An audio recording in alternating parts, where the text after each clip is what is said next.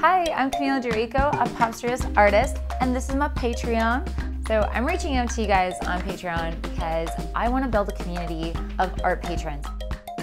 You get to support what I do with monthly donations, and it's kind of like a Kickstarter that kind of never ends. I'm super excited to offer tiers and really cool things it's going to be an amazing way for me to connect with my fans. I get to help you with advice as well as creating new artwork that you're directly responsible for supporting. I create art um, for the passion of it. I didn't know that my art could mean something on a soul deep level. The fact that you guys respond to what I'm doing means so much to me.